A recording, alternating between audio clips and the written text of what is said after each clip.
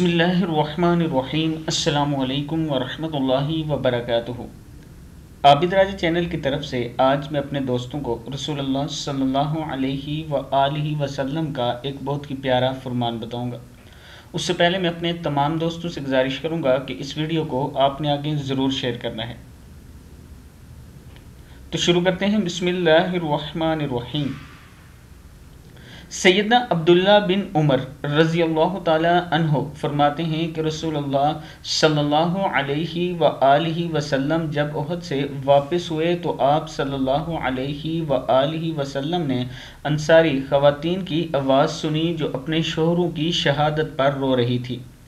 आप सल्लल्लाहु अलैहि व आलिहि ने फरमाया, लेकिन हमज़ा इसके लिए तो रोने वाली कोई नहीं है।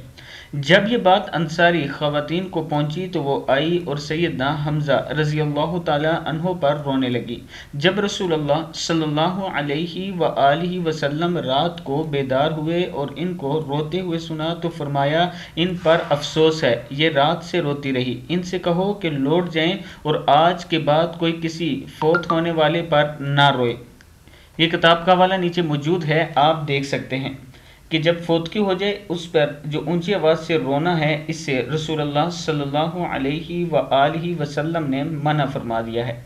मैं अपने दोस्तों से गुजारिश करूँगा कि इस पर ज़रूर अमल करें और इस वीडियो को भी आप दोस्तों ने आगे ज़रूर शेयर करना है। अल्लाम वरहमल वर्का